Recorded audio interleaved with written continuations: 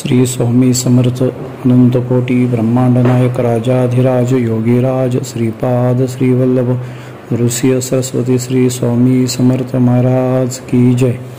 आजच्या निरूपणाचा विषय आहे पितृदोष. पितृदोष हा प्रत्येकाच्या कुंडलीमध्ये आढळून येतोच. शंभरपैकी सत्तर जणांच्या कुंडलीमध्ये पितृदोष आढळतो. मग पितृदोष म्हणजे काय?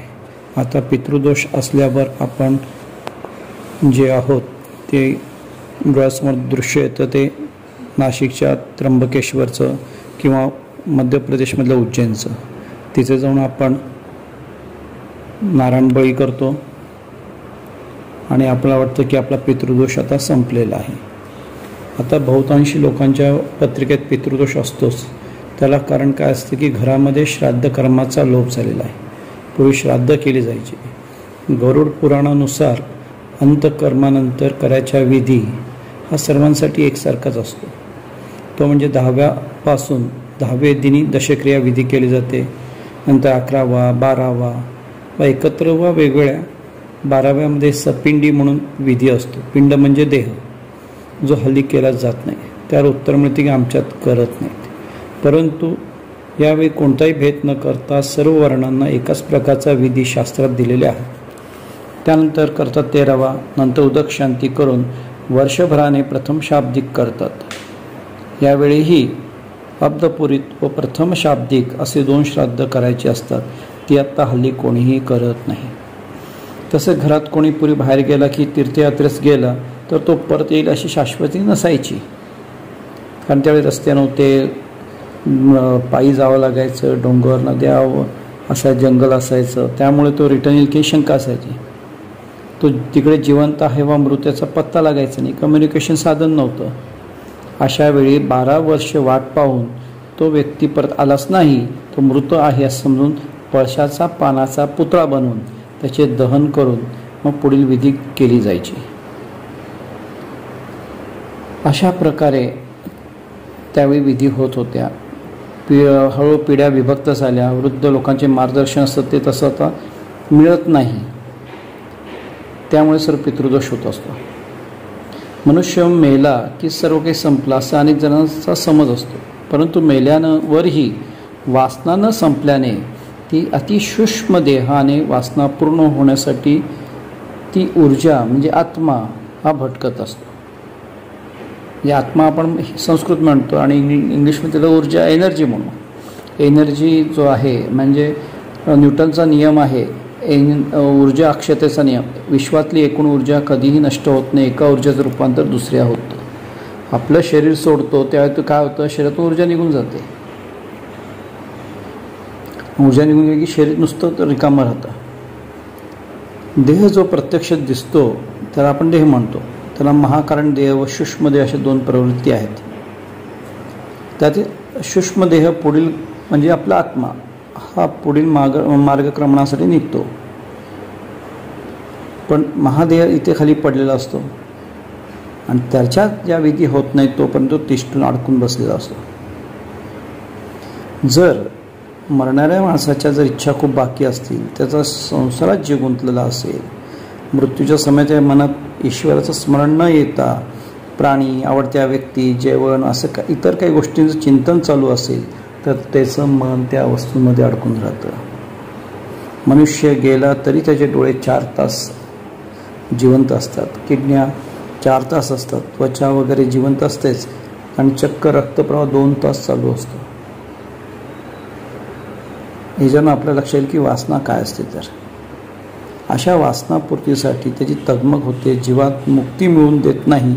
ती सतत घरातील व्यक्तीने ऐन किन प्रकट अडचणी निर्माण करते ती एनर्जी आहे ना ती नष्ट होतच नाही ती ट्रान्सफॉर्म होते. कन्वर्ट होते एका ठिकाण दुसऱ्या ठिकाणी. आणि मग आपल्याला काय होतं आपण केलेलं काही सत्कर्म असेल त्यातून आपली त्या संकटातून आपली मुक्तता होते. इतर लोकांमध्ये सुद्धा बघितली तर धर्मामध्ये सुद्धा ह्या गोष्टी आहेत. ख्रिस्ती बांधव घ्या पारशी लोक घ्या इस्लामिक लोक घ्या. ते पितृ कार्य करतात पण जे वेगळे पद्धती असतात ख्रिस्ती बांधव मृतांच्या कपडे फुले वाईन केक ठेवतात त्यांच्या स्मृती वाटतात. अति प्राणीही आपल्या पूर्वजांस वंदन करतात आणि ह्याच्यामध्ये सर्वात प्रथम पुढे येतो तो हत्ती. हत्तीचा कळप जो आहे हत्तीचा कळप एका मादीच्या नेतृत्वाखाली अन्न पाणी यांच्या शोधात स्थलांतर करत असतो. वाटेत अनेक बांधव मृत होतात मरतात रस्त्यात प्रवास करता करता. अशा वेळी ते तिथे थांबतात घोळक्याने श्रद्धांजली वाहून पुढे निघतात. त्यावेळी गेलेला हत्ती ज्याच्या जवळचा असतो तो जरा रेंगाळतो. परंतु त्याला काही जण आधार देऊन बाहेर आणतात. हा प्रकार इथेच थांबत नाही.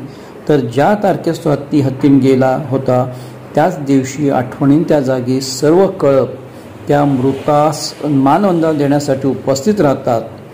त्यावेळी मृताची अस्थी येथे असतात. कळपातील प्रत्येक सदस्य त्या उचलून आपल्या कपाळी लावतो. तिथे जरा वेळ थांबतात पुन्हा आपल्या मार्गाने जातात. हे सर्व काही संशोधकांनी सिद्ध केलेलं आहे. डिस्कवरी व चॅनलवरती तुम्हाला हे दिसून येईल. अशा प्रकारे हे हत्तीचे कळप त्या मेलेल्या हत्तीजवळ खाण्याच्या वस्तू नेऊन अर्पित करतात. मनुष्य तर सर्वात प्रगत आहे. आणि त्यांनी पूर्वजांना श्रद्धा देणं हे गरजेचं आहे. पहिल्या दिनी गेल्या म्हणजे पहिला दिन म्हणजे माणूस गेला तो दिवस. दहा संस्कार होतो. त्यावेळी मृतस्थानी द्वारस्थानी विश्रांतीस्थानी काष्टरचनेच्या वेळी चौकात पिंड देतात. त्यावेळी भूमीवर गृहवास्तूमध्ये प्रेतास वाईट शक्तींनी अपवित्र करू नये म्हणून तिथे विधी केला जातो. त्यानंतर स्मशानाला दहा दिवसापर्यंत पिंड द्यावे लागते. नंतर दहाव्या दिवशी दशक्रिया विधी होतो. जर दररोज पिंडदान केलं असेल तर दहाव्या दिवशी केवळ एक पिंड देऊन काकबळी द्यावा लागतो अशी ती मान्यता आहे. दशक्रिया विधी संकलन मानवी जन्माला आधारित आहे. जसे प्रथम मातेच्या गर्भात छोटा छोटासा पिंडच असतो तशी कल्पना करून पहिला पिंड देतात. त्यात सम विषम श्राद्ध अशी संकल्पना असते. विषमदिनी अवयव पिंडही देतात. पहिला पिंड मस्तक दुसरा पिंड कान तिसरा कान नाक तिसरा पिंड गळा खांदे भुजा व वक्षस्थळ असतो. चौथा पिंड नाभी लिंग योनी गोदा. पाचवा पिंड जानू जंघा पाय. सहावा पिंड सगळे मर्मस्थानं. सातवा पिंड सगळ्या नाड्या. आठवा पिंड दात केस वगैरे. नववा पिंड वीर्य रज दहावा पिंड संपूर्ण शरीर. हेच आपल्या आईच्या पोटात घडत असते.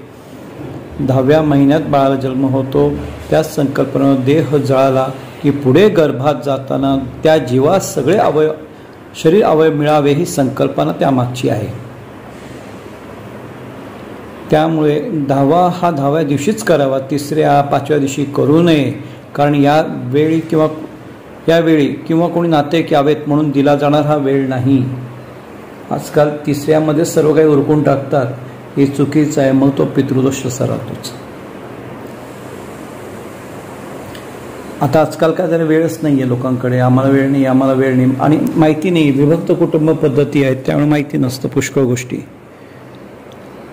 तसंच ते झालं पितृदोषाला आपण एक जेनेटिक्स दोषसुद्धा मानू शकतो. एका जनरेशनकडून दुसऱ्या जनरेशनकडे जाणारा असतो. ह्या पितृदोषातून मुक्ती मिळवायची असेल. तर आपण अनेक पूजा करतो. बरोबर? त्यामध्ये घरातील सर्व कपडे स्वच्छता करतो पंचगव्याने प्राशन करून सर्व विधी घरातलं सर्व वास्तू आपण शुद्ध करतो. कारण किंवा बॅक्टेरियाज असतील किंवा त्यातले काही जम्स असतील ते निघून जावेत घरात स्वच्छता राहावी. परत कोणी आजारी पडू नये हा त्या पाठीमागचा विषय असतो. तर आपण ह्यासाठी जेव्हा कार्य करत असतो आपण ज्या पूजा करतो की आम्ही हे करतो. आम्ही ह्याला गेलो होतो नाशिकला गेलो त्र्यंबकेश्वरला गेलो होतो. नारायण नागबळी आम्ही केलेलं आहे. बरोबर? हे जेव्हा आपण ऐकतो आणि आपण म्हणतो की आता माझं सर्व हे झालेलं आहे. दोष माझे निघून गेलेले आहेत. पण दोष कसे असतात? एकूण पत्रे नऊ दोष असतात. म्हणजे शनी दोष असतो मांगलिक दोष असतो कालसर्प दोष असतो प्रेत दोष असतो पितृदोष असतो चांडाल दोष असतो ग्रहण दोष असतो अमावस्या दोष असतो केमद्रुम दोष असतो असे विविध असं यातला एकसुद्धा दोष चालू असेल तरी आपल्याला त्रास होतो. मग आपण एवढं करूनसुद्धा आपल्याला दोष हे जात नाही आपला त्रास होत राहतो. काय काय त्रास होतो? विवाहामध्ये व्यत्यय येतो विवाह उशिरा होतो किंवा डिवोर्सचे प्रकरणं होतात. घरात आर्थिक तंगी राहते आजारपण येतं अनवांछिक घटना घडतात अपघात घटनात शिक्षणामध्ये दोष निर्माण होतात. ह्या घटना घडत असतात. मग आपण काय म्हणतो की ना मी एवढं नारायण बळी केला नागनारायण बळी केला तरी मला काय झालं? मग नारायण हा विधी कधी केला जातो अपमृत्यू झाला असेल घरामध्ये अपघात झाला असेल आत्महत्या झाली असेल खून झाला असेल दीर्घ आजार असेल पाण्यात बुडून मेला असेल भाजून किंवा चोरांनी मारून टाकला असेल तर अशा दोष निर्माण झाल्यास गती मिळावी यासाठी आपण ह्या गोष्टी करत असतो. हे करूनसुद्धा आपल्या जात नाही. मग यासाठी काय करायचं? तर एक लक्षात घ्या. आपण म्हणजे छोटे छोटे उपाय सांगतो. त्या उपाय जे केले तर तुम्हाला नक्कीच पितृवश मुक्ती होईल. पहिला एक साधा उपा उपाय की पण माझे उपाय सांगितले की लोकांना ते म्हणतात तेवढ्याशाने कसं काय होणार असं द- दादा? तुम्ही खर्च सांगितला असता तर ते लगेच लोकांना पटलं असं दहा पंधरा हजार रुपये विधीला खर्च येतो म्हणलं की लगेच लोक तयार होतात. हा आम्ही केला होता. आम्ही संकटात मुक्त झालो. पण बिना खर्चीचं काही सांगितलं लोकांना ते पटतच नाही. विश्वास ठेवत नाहीत. तरीसुद्धा तुम्हाला सांगतो तुमच्या घराजवळ जर पिंपळाचं झाड आजूबाजूला कुठं असेल तर तिथे जायचं सकाळी पाणी अर्पण करायचं पणती लावायची आणि सात प्रदक्षिणा करायच्या. प्रदक्षिणा करताना पोटात श्वास घ्यायचा. आणि मंत्र म्हणायचा दिगंबरा दिगंबरा श्रीपाद वल्लभ दिगंबरा दिगंबरा दिगंबरा स्वामी समर्थ दिगंबरा.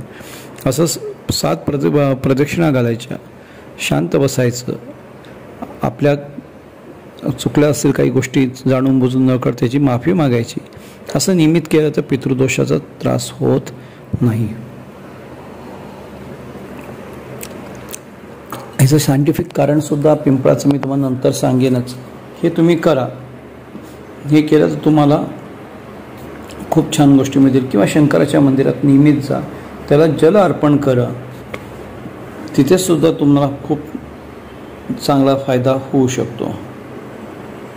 तर हे जे आहेत ह्या गोष्टी तुम्ही केल्या तर तुम्हाला बिना खर्ची ह्या गोष्टी घड करता येऊ शकतात.